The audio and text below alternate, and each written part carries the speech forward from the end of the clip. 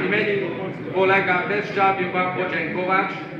Jestem przekonany, że ten kontakt, który y, trwa i istnieje między naszymi związkami, dalej będzie trwać.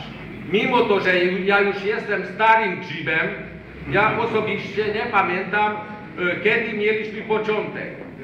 I mimo to, że mamy pewne trudności w społeczeństwie, w gospodarce i, i, i tak dalej, i między innymi w sporcie na Węgrzech, ten kontakt jestem przekonany, że wszystko przeżyje. Dziękuję.